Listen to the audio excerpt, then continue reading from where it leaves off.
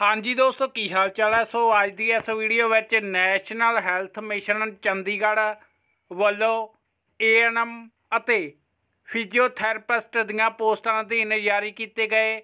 Official notification ਦੀ ਜਾਣਕਾਰੀ ਤੁਹਾਡੇ ਨਾਲ ਸ਼ੇਅਰ ਕਰਨ ਜਾ ਰਹੇ ਹਾਂ, ਜਿਸ ਵਿੱਚ ਏਐਨਐਮ ਦੀਆਂ ਕੁੱਲ 8 ਪੋਸਟਾਂ, ਜਿਸ ਵਿੱਚ ਜਰਨਲ ਕੈਟਾਗਰੀ ਦੀਆਂ 4 ਐਸਸੀ ਦੀਆਂ 3 ਅਤੇ ਇੱਕ ਪੋਸਟ OBC ਕੈਟਾਗਰੀ ਲਈ ਅਨਾਉਂਸ ਕੀਤੀ ਗਈ ਹੈ।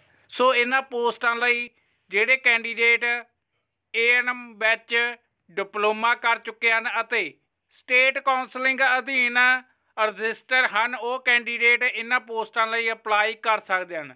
ਸੋ ਇਹਨਾਂ ਪੋਸਟਾਂ ਲਈ ਸੈਲਰੀ ਪੈਕੇਜ 15245 ਰੁਪਏ ਰਹੇਗਾ।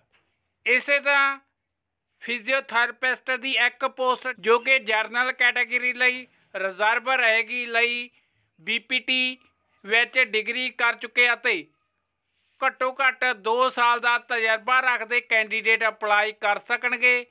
ਇਹਨਾਂ ਪੋਸਟਾਂ ਲਈ 18511 ਰੁਪਏ ਸੈਲਰੀ ਪੈਕੇਜ ਰਹੇਗਾ। ਸੋ ਦੋਸਤੋ, ਇਹ ਪੋਸਟਾਂ mission director, national health mission fourth floor administer block sector 16 UT Chandigarh ਵੱਲੋਂ ਅਨਾਉਂਸ ਕੀਤੀਆਂ ਗਈਆਂ ਹਨ। ਸੋ ਇਹਨਾਂ ਪੋਸਟਾਂ ਲਈ 60 ਸਾਲ ਦੀ ਏਜ ਤੱਕ ਵਾਲੇ ਕੈਂਡੀਡੇਟ ਅਪਲਾਈ ਕਰ ਸਕਣਗੇ। ਸੋ ਇਹਨਾਂ ਪੋਸਟਾਂ ਲਈ ਅਪਲਾਈ ਕਰਨ ਦੀ ਲਾਸਟ ਡੇਟ 1 ਜੁਲਾਈ 2022 ਦੁਪਹਿਰ 1 ਵਜੇ ਤੱਕ ਰਹੇਗੀ। ਸੋ ਜਿਹੜੇ ਕੈਂਡੀਡੇਟ ਇਹਨਾਂ ਪੋਸਟਾਂ ਲਈ ਅਪਲਾਈ ਕਰਨਗੇ, ਉਹਨਾਂ ਕੈਂਡੀਡੇਟ ਵਿੱਚੋਂ ਜਿਹੜੇ ਕੈਂਡੀਡੇਟ ਯੋਗ ਭਾਵ ਐਲੀਜੀਬਲ ਹੋਣਗੇ ਉਹਨਾਂ ਦੀ ਲਿਸਟ ਅਤੇ ਲਿਖਤੀ ਪੇਪਰ ਸੰਬੰਧੀ ਐਗਜ਼ਾਮ ਡੇਟ ਬਾਰੇ 11 ਜੁਲਾਈ 2022 ਨੂੰ www.nrhmchd.gov.in ਤੇ ਅਪਡੇਟ ਕੀਤਾ ਜਾਵੇਗਾ। ਸੋ ਇਹਨਾਂ ਪੋਸਟਾਂ ਅਧੀਨ 90 ਨੰਬਰ ਦਾ ਪੇਪਰ ਹੋਵੇਗਾ, ਜਦ ਕਿ 10 ਨੰਬਰ ਐਕਸਪੀਰੀਅੰਸ ਦੇ ਹੋਣਗੇ।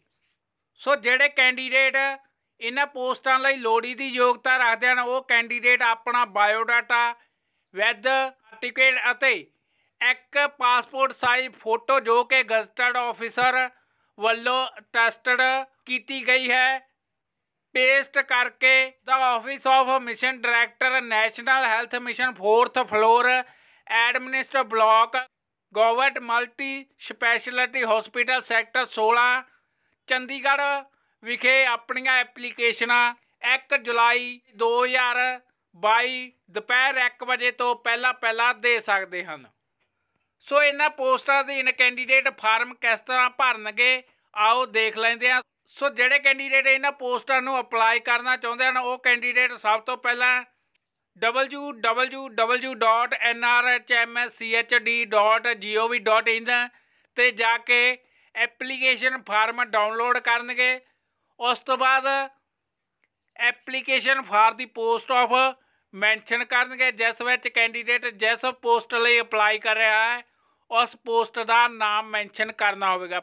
ਸੋ ਉਸ ਤੋਂ ਬਾਅਦ ਫਸਟ ਕਾਲਮ ਵਿੱਚ ਕੈਂਡੀਡੇਟ ਆਪਣਾ ਕੈਪੀਟਲ ਲੈਟਰ ਵਿੱਚ ਨੇਮ ਸੈਕੰਡ 'ਚ father name date of birth 4 number ਤੇ ਕੈਂਡੀਡੇਟ ਆਪਣਾ ਜੈਂਡਰ ਮੈਂਸ਼ਨ ਕਰਨਗੇ ਮੇਲ ਜਾਂ ਫੀਮੇਲ ਪੰਜ ਤੇ ਨੈਸ਼ਨੈਲਿਟੀ ਇੰਡੀਆ 6 ਤੇ ਕੈਂਡੀਡੇਟ ਸਿੰਗਲ ਜਾਂ ਮੈਰਿਡ 7 ਨੰਬਰ ਤੇ ਕੈਂਡੀਡੇਟ ਕਿਸ ਕੈਟਾਗਰੀ ਨਾਲ ਬਿਲੋਂਗ ਕਰ ਰਿਹਾ ਹੈ ਉਹ ਮੈਂਸ਼ਨ ਕਰਨੀ ਹੋਵੇਗੀ।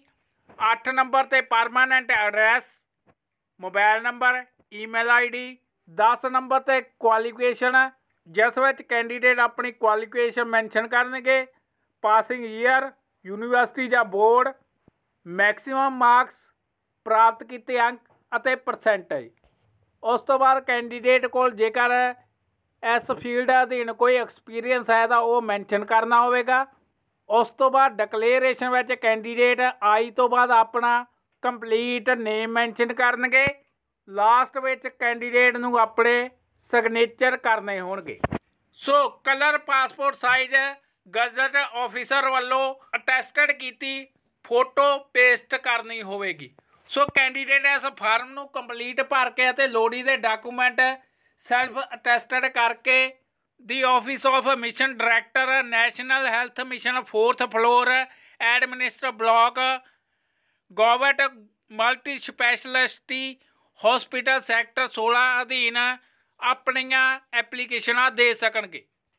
ਸੋ ਦੋਸਤੋ, ਇਹਨਾਂ ਪੋਸਟਾਂ ਦੇ ਜੋ ਵੀ ਕੈਂਡੀਡੇਟ ਅਪਲਾਈ ਕਰਨਾ ਚਾਹੁੰਦਾ ਹੈ, ਉਹ 1 ਜੁਲਾਈ 2022 ਤੱਕ ਇਹਨਾਂ ਪੋਸਟਾਂ ਲਈ ਅਪਲਾਈ ਕਰ ਸਕਦਾ ਹੈ। ਸੋ ਦੋਸਤੋ, ਇਹ ਪੋਸਟਾਂ ਟੋਟਲੀ ਕੰਟਰੈਕਟ ਬੇਸ ਤੇ ਰਹਿਣਗੀਆਂ। ਸੋ ਦੋਸਤੋ ਵੀਡੀਓ ਤੇ ਜਾਣਕਾਰੀ ਨੂੰ ਆਪਣੇ ਫਰੈਂਡ ਸਰਕਲ ਵਿੱਚ ਜਰੂਰ ਸ਼ੇਅਰ ਕਰੋ ਅਤੇ ਸਾਡੇ YouTube ਚੈਨਲ ਨੂੰ ਸਬਸਕ੍ਰਾਈਬ ਕਰ ਦਿਓ। ਧੰਨਵਾਦ।